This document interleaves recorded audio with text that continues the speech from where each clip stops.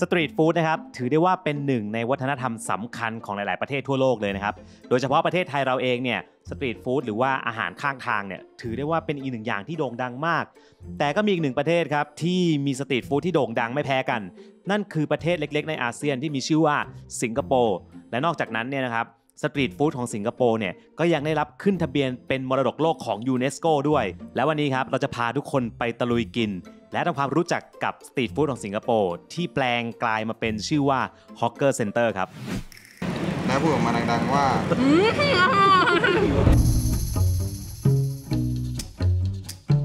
วันนี้ครับเราจะไปกินสตรีทฟู้ดกันที่สิงคโปร์ ที่นี่มันไม่ได้มีแค่อาหารสิงคโปร์อาหารจีนอะไรอย่างนี้นะมีตั้งแต่ร้านเกาหลี มีร้านไทยด้วยอย่างร้านเนี้ยญี่ปุ่นขายเวียดนามก็มีก็หลากหลายไม่ดูโน้ตเลยเหรอฉันจะมีชีวิตอยู่ได้ไงวันนี้น้ำมันเยอะขนาดเราเนี้ยถูกด้วยนะเราดี สวัสดีครับทุกคนนะฮะกลับมาอีกครั้งหนึ่งครับ วันนี้ครับเราจะไปกินสตรีทฟู้ดกันที่สิงคโปร์จริง ๆ ต้องบอกแบบนี้ก่อนนะครับว่าตั้งแต่สมัยก่อนนะครับประเทศสิงคโปร์เองเนี่ยก็ไม่ต่างจากหลาย ๆประเทศนะครับคือเคยมีปัญหาหาบเร่แผงลอยกันมาก่อนคล้ายๆกับบ้านเราเนี่ยแหละเพราะปัญหาหาบเล่แข็งลอยเนี่ยนะครับมักจะสร้างปัญหาให้กับเมือง เช่น ความสะอาดของถนน ท่อระบายน้ำอุดตัน การกีดขวางทางเดินสุขอนามัยของอาหาร แต่สิงคโปร์เนี่ยเขามีการจัดการอย่างสร้างสรรค์และน่าสนใจมากครับเขาเรียกสิ่งนี้ว่า Hawker Center ซึ่งคำว่า Hawker เนี่ยก็มาจากคนหาบเร่นั่นเอง โดยมีลักษณะเป็นศูนย์อาหารนะครับคล้ายๆ แบบว่าฟู้ดคอร์ทบ้านเรานะแต่ว่าจะกระจายอยู่ตามย่านต่างๆครับเป็นพื้นที่เปิดโล่ง มีหลังคาแต่ไม่มีแอร์นะครับ มีบริการทั้งไฟฟ้า น้ำประปา ห้องน้ำ และมีพื้นที่จัดเก็บขยะแบบเป็นระบบระเบียบนะฮะ มีการควบคุมด้วยการออกใบอนุญาต และเก็บค่าเช่าโดยทางการรัฐบาลเองเลย ซึ่งมีมากกว่า 100 แห่งทั่วสิงคโปร์นะครับ และมีร้านค้ารวมกันมากกว่า 6,000 ร้านด้วย แนวเลือกมาหนึ่งที่ครับ ที่นี่ชื่อว่า Maxwell นะครับ อยู่ติดกับ China Town ซึ่งมันมีหลายๆร้านแหละที่น่าสนใจแล้วเดี๋ยวเราจะเข้าไปชิมกันนะว่ามันมีอะไรบ้าง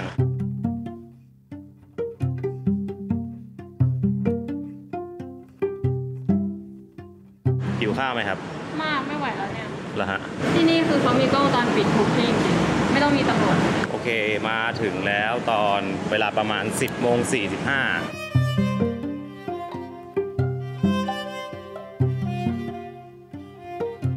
โอเค ตอนนี้ที่เข้ามาดูเนี่ยร้านปิดค่อนข้างเยอะนะครับผมไม่รู้ว่ามันปิดเพราะว่ามันเป็นวันธรรมดาหรือว่า ปิดเพราะตั้งแต่โควิด ก็เลยปิด แต่ว่าร้านร้านถือว่าเยอะอยู่ดีนะ แบบเป็น food centre แล้วก็แต่ละร้านแบบเอกลักษณ์แบบไม่เหมือนกันเลย จุดเด่นของที่นี่ครับคืออาหารเนี่ยจะมีราคาถูกมากๆ ถ้าเทียบกับร้านข้างนอกนะครับ คือคนทุกชนชั้นของสิงคโปร์เนี่ยมักจะมารวมกันที่นี่ครับ เช่นเลิกงานหรือว่าช่วงพักเที่ยง หรือนักท่องเที่ยวเองส่วนใหญ่บางคนอยากเที่ยวประหยัดใช่ไหมก็จะมาฝากท้องที่นี่ด้วยครับ ซึ่งการจัดการกับหาบเร่แผงลอยเหล่านี้นะครับทำให้ hawker centre เนี่ยได้ขึ้นทะเบียนเป็นมรดกทางวัฒนธรรมที่จับต้องไม่ได้ของมนุษยชาติในปี 2020 ของยูเนสโกด้วยครับ และต้องบอกก่อนเลยนะครับว่าทางรัฐบาลสิงคโปร์เนี่ยนะครับเขาก็มีการจัดการกับหาบเร่แผงลอยเนี่ยให้เข้าไปอยู่ใน hawker centre ให้หมด ซึ่งเขาใช้เวลาประมาณเกือบ 10 ปีเลยนะครับ และจากที่เคยเป็นปัญหาของเมืองปัจจุบันครับ กลายเป็นเอกลักษณ์ และแหล่งฝากท้องสำคัญของคนท้องถิ่นรวมถึงนักท่องเที่ยวด้วยครับ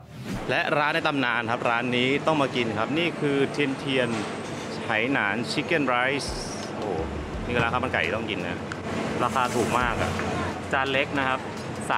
3.5 จานกลาง5แค่นั้นเอง จานใหญ่ 7.8 แต่เราซื้อจานเล็กมากินก่อน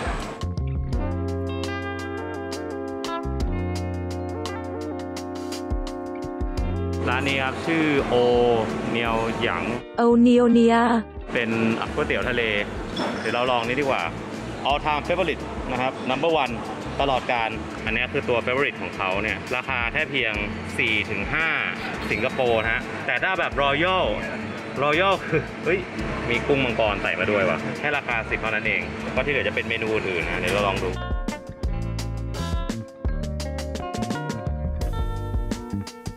ส่วนร้านข้างนะครับ อันนี้ชื่อว่า Maxwell ผู้เฉา Oyster Cake ร้านนี้ราคาแค่ 2.5 เท่านั้นนะครับ ดูดังนะ ดูแบบว่าออกหนังสือพิมพ์ไล่รายการอะไรเต็มไปหมดเลย แล้วก็ฟิลบอกว่ามีดารงดารามากินด้วยอะเดี๋ยวไปชิม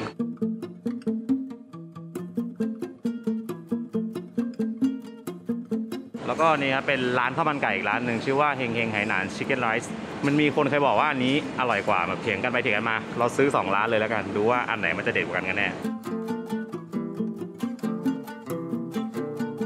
น้ำจิ้มเขาก็ชี้ๆให้ดูครับ น้ำจิ้มสิงคโปร์จะเป็นแบบเอดแดงๆเนี่ยนะมมันจะเผ็ดๆนิดนึงอะถ้าจำไม่ผิด ส่วนจริงไอ้ซอสดำก็มีนะฮะแต่ว่าไม่เราไม่เอา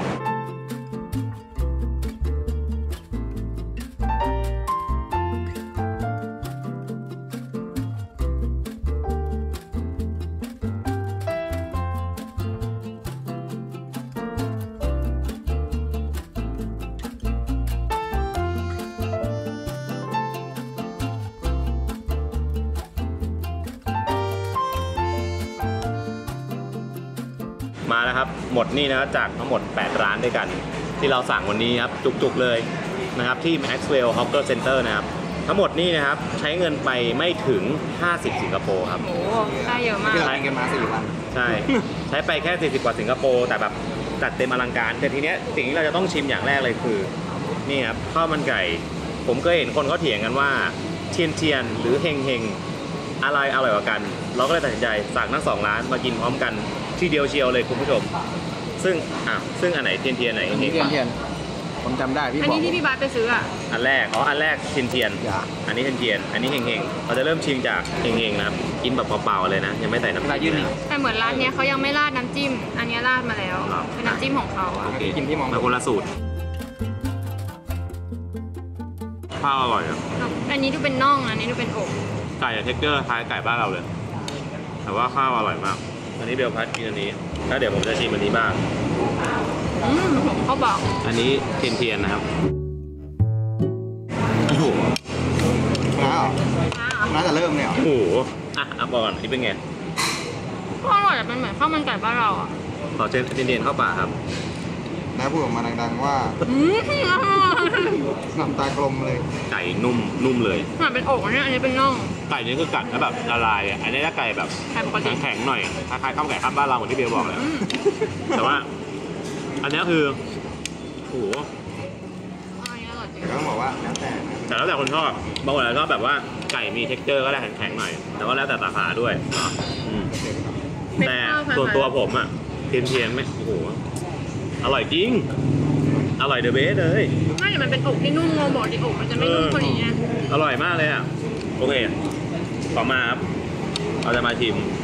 สิ่งนี้ มันคือก๋วยเตี๋ยวอะ เป็นก๋วยเตี๋ยวแบบก๋วยเตี๋ยวจีนอะก๋วยเตี๋ยวซีฟู้ด เอออันนี่ดูน่ากินเนาะ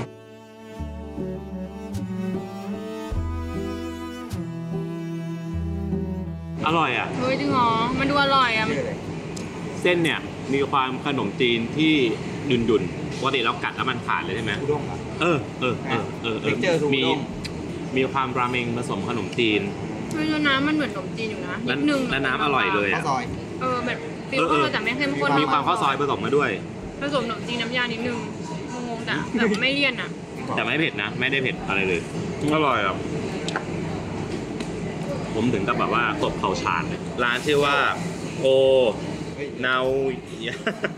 เอาจริงว่ามันอ่านไม่ออกอะโอโนยนุยย่าโอโนยใหญ่โอโนยใหญ่โอโนยใหญ่โอเนียเนียอะใครมาตรง Maxwell ก็มาชิมแล้วแบบเมนูนี้คือแบบเฮ้ยแบบอร่อยข้าวมันไก่นะสำหรับผมนะ the best เป็นเทียนเทียนไปแล้วผมยังพูดถึงเทียนเทียนอยู่นะครับมันแบบพอไอ้คำเมื่อกี้มันเข้าปากปุ๊บมันละลายแล้วแบบผมร้องว่าโอไฮโอและนี่ครับท่านจะต้องได้รู้จักข้าวหน้าเป็ดเฉโป หมูกรอบหมูแดง แต่ว่าหมูแดงเขาเป็นแบบสามชั้นเหรอน่าจะใช่เป็นหมูแดงสามชั้นหมู กรอบก็สามชั้นโอ้อะโหหมูแดงสามชั้นไม่ค่อยเคยเห็นนะหมูกรอบก่อนหมูกรอบเค็มๆอันนี้เป็ดหรือไก่ อันนั้นน่าจะเป็นเป็ดนะเป็ดไก่น่าจะเป็นที่เบลกินโอเคไก่นุ่มมาก ไก่นุ่มมากเลยเหรออืมเดี๋ยวลองเป็ดบ้างนี่เป็ดนะฮะไม่ถึงกับวางช้อนคืออะไรไม่เป็ดไหมโต๊ะไม่รู้มันคืออะไรรู้ว่ามันอร่อย อันนี้ไก่เราชิมไก่ไก่โคตรนุ่มอุ๊ยอย่างดีอะเขาทำยังไงทำไมแบนุ่บมมากอันนี้ไก่นะไก่นุ่มมากเลยบอกทำไม อะอุ้ยโยนอีกแล้ว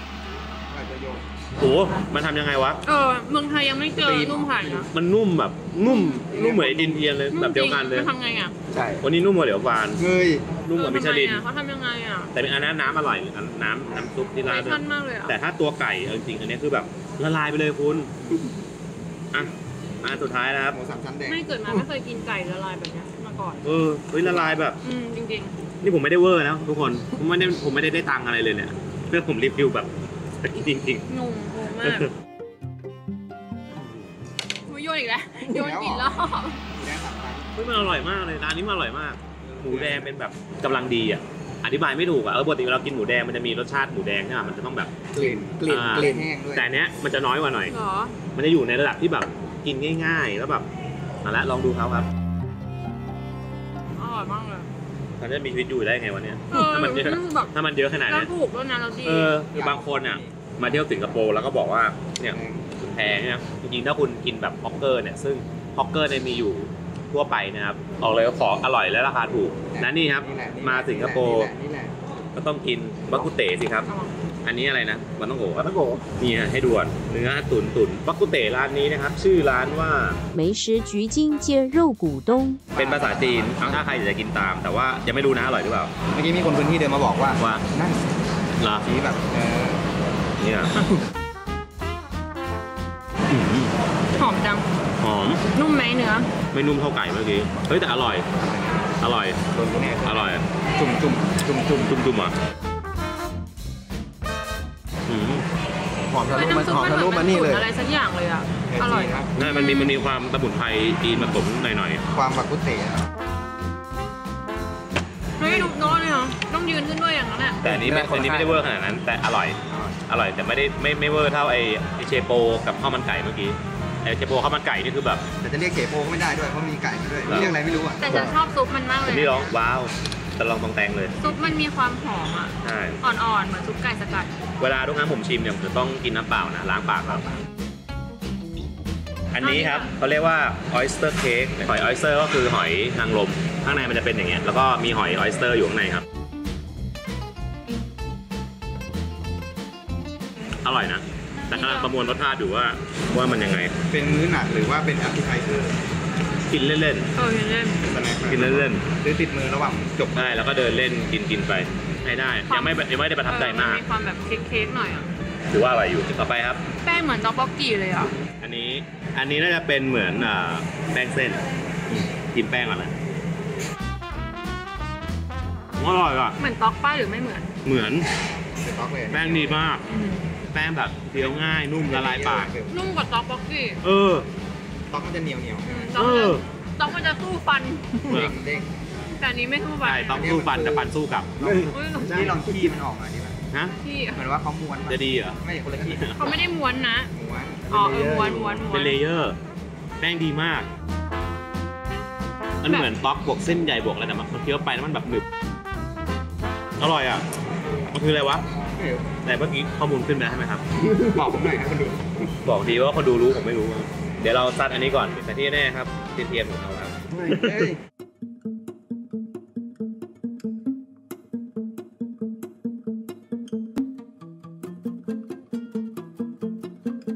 โอเคครับทุกท่านตอนนี้เป็นเวลาเที่ยง 15ทุกคนจะเห็นว่าเนี่ยครับคนเต็มฮอกเกอร์เลย ก็คือเวลาที่พนักงานเขาเลิกงานด้วยนี่แหละ แล้วก็อย่างที่เห็นนะที่นี่มันไม่ได้มีแค่อาหารสิงคโปร์อาหารจีนอะไรอย่างนี้นะมีร้านไทยด้วยอย่างร้านเนี้ยสีสเกตไทยฟู้ดนะครับก็อยู่ตรงนี้มีตั้งแต่ร้านเกาหลีนะครับร้านอาหารญี่ปุ่นก็เห็นอยู่นะเมื่อกี้แบบๆนั่นแหละฮะก็คือหลากหลายเวียดนามก็มี เพราะนั้นเวลาใครที่แบบว่ามาเที่ยวสิงคโปร์นะครับจะหา street food กินเนี่ยให้ search ใน Google ดูว่า Hawker Center ซึ่งมันจะขึ้นอยู่เยอะมากนะครับเหมือนที่เรา search ขึ้นอยู่ตอนนี้นะครับจุดๆๆๆเต็มในแผนที่ก็หากินง่ายที่สำคัญครับผมว่าหาหลายอย่างอร่อยมาก บางอย่างคือแบบเด็ดแล้วถูก ถูกแล้วอร่อยมาก ๆ จริง ๆ พอกินเสร็จนะครับ จะต้องยกพวกเนี้ยไปทิ้งด้วย แล้วก็เขาจะให้เก็บถาดอะไรเองนะก็เป็นระบบคล้ายๆบ้านเราโอเคครับเรียบร้อยครับ และนี่คือการมารีวิวนะครับโอ้โหแบบ8 9 ร้านได้นะครับที่ hawker นะครับหรือเอาง่ายคือเป็น street food แผงลอยยุคใหม่ของสิงคโปร์ซึ่งสิงคโปร์เนี่ยเขาสุดยอดมากนะเขาสามารถจัดระเบียบได้นะครับแบบแผงลอยทั้งประเทศเนาะมันก็ช่วยเรื่องของความเป็นระเบียบเรียบร้อยความสะอาดนะครับแล้วก็ประชาชนเองเนี่ยก็ยังมีเขาเรียกว่าที่ทำมาหากิน ส่วนประชาชนทั่วไปเนี่ยก็สามารถจะมาหาซื้ออาหารกินที่ราคาถูกได้นะครับแล้วก็ที่สำคัญครับสิงคโปร์ผลักดันเนี่ยอย่างที่ทุกคนรู้นะ hawker ให้กลายเป็นมรดกทางวัฒนธรรมนะครับของยูเนสโกก็ขึ้นเป็นทะเบียนมรดกโลกไปแล้วเรียบร้อยนะครับหาบเร่แผงลอย street food ของสิงคโปร์ซึ่งสุดยอดของการบริหารจริงๆนะนี่แหละครับเราลองมาดูแล้วกันว่าอะไรบ้างที่เราสามารถในอนาคตจะปรับใช้กับประเทศเราได้บ้างนะครับ ก็น่าจะช่วยได้เยอะเนาะโอเค นี่ก็เป็นไอเดียนะครับ แล้วก็เป็นข้อมูลที่ผมเอามาฝาก วันนี้อย่าลืมนะครับ กดไลค์กดแชร์กด subscribe เราด้วย แล้วก็อย่าลืมอย่าลืมกดกระดิ่งแจ้งเตือนกันด้วยนะคะ ไปแล้วนะฮะบ๊ายบายบ๊ายบาย